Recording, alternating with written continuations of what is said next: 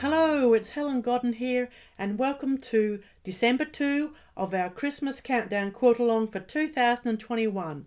And as you can see, this year we're working on the partridge in a pear tree. Now, if you're not sure what's going on here, this is December 2nd. So if you go back to December 1st on my YouTube channel of Helen Godden Quilts, there's a video there explaining to you how to obtain this pattern for free from my website and then how to trace it and sandwich it in preparation for our quilt along. So every day from December 2 through to December 24, right up to Christmas Eve, I'm going to be giving you one more segment of this design to quilt. If you miss a day, that's okay. You'll be able to catch up and complete your piece in time for Christmas. Now, as you can see, I've used my Caran d'Ache Neocolor aquarelles to colour this. You certainly do not have to do that. I just wanted to make it a bit more colourful for all of us. If you really like this design, I've also created the other 11 days of Christmas to go with my partridge. We've got Lords a Leaping, we've got Milkmaids Milking, there's turtle doves and French hens, there's everything. So have a look on my website. So when you grab this pattern for free, you might just decide to purchase the other 11 days to complete a whole 12 days of Christmas design. But for this month, we are just going to be working on the partridge in the pear tree. So tune in every day here on Helen Godden Quilts on my YouTube channel and why not hit that subscribe button and the notification bell so that you never miss another segment in this project together. I'm really glad you're here joining us. This is actually our fifth quilt along together, so let's get started.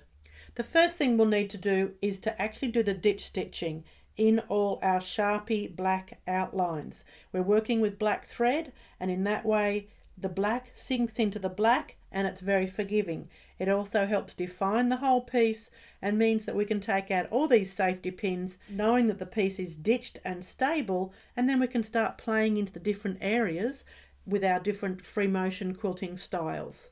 So I'm going to get on with my ditch stitching, going around every black Sharpie line with my black thread, and then we'll be ready to start today's segment right through to the 24th. So I'm going to be working on my Handi Quilter Capri and you can stitch along with me.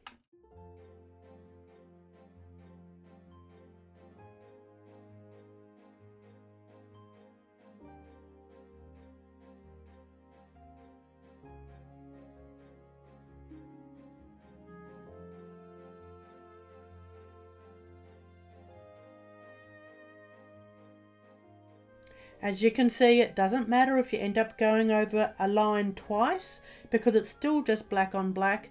You really can't see that you've gone over it twice and it just enables you to travel to the next area so that we can continue this ditch stitching fairly efficiently and quickly.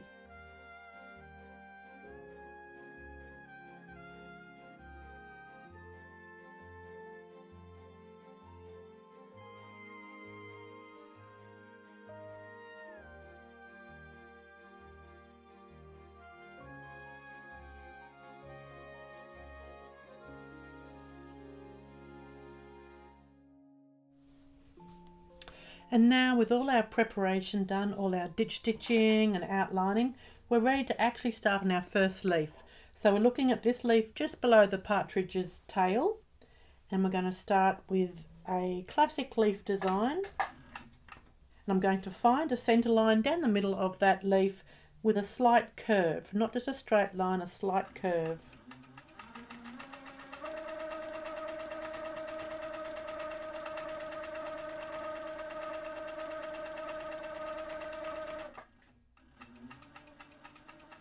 Then coming back along that centre line, I'm going to curve in bunches of three lines, but keeping that curve to imply that the leaf is rounded rather than flat.